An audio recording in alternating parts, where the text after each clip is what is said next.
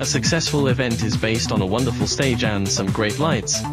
Here are some videos on spot and the pictures of the lights.